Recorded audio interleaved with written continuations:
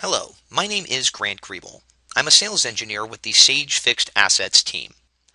Today, I'm going to show you how to set up and execute the integration between Sage Fixed Assets Depreciation and Sage 300 ERP in order to take your GL entries after running depreciation and have them flow back into your ERP system. The first thing that you're going to have to do is go in to customize the fields within your depreciation solution and make sure that all of your GL accounts are matching back to the GL accounts that you've set up within Sage 300. If these GL account numbers are not matching to the ones set up within the Sage 300 solution, this integration will not function correctly. So make sure that those numbers match first. Once you've ensured that your GL numbers match within both of your solutions, you're going to want to go ahead and run depreciation for the period in order to generate those GL entries. So let's do that now. We're going to go ahead and run depreciation on all of our assets, and we're going to do it for a one month period.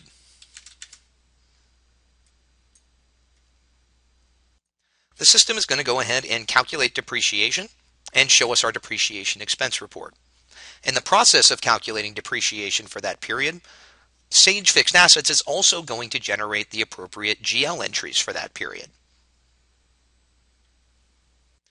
Now that we're done running our depreciation, we can go ahead and get started executing the integration between the two pieces of software. To do that, we're going to come up here to our links dropdown. We're going to go to our depreciation links and choose Sage 300 ERP. In order to execute the integration, we're going to have to close the company that we currently have open. And now we can go ahead and set up some details in order to make this integration work. First, we need to choose the company that we want to pull the journal entries from. You can have multiple companies within your fixed asset solution, so make sure to choose the one that you just ran depreciation on. Next, we need to choose both the group, we're going to do all complete assets, and the book we're going to pull our GL entries from our tax book. Next, we also need to make sure that our dates are matching the ones that we just ran depreciation on.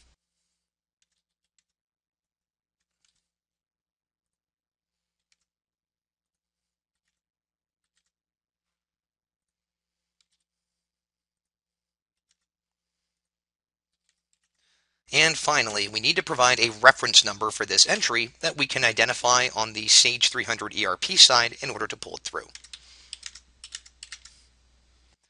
Once we've reviewed the information and made sure that it's correct, we can click on Preview in order to take a quick look at what that expense is going to look like. So we can see that we've got our depreciation expense, accumulated depreciation, and the debits and credits that are associated. Once we've confirmed that this information is accurate and what we're looking to have passed over, we can go back into the fixed asset solution and see that the ability to post those entries is now highlighted. We will click that now. We have to go ahead and enter in some information for Sage 300. We're going to go ahead and just use the default username as admin. And we need to choose which company within Sage 300 we'd like these GL entries to go into. We're going to go with our sample company here can click OK. And now I need to choose both the source ledger, which is the GL, and the source type, which is a journal entry.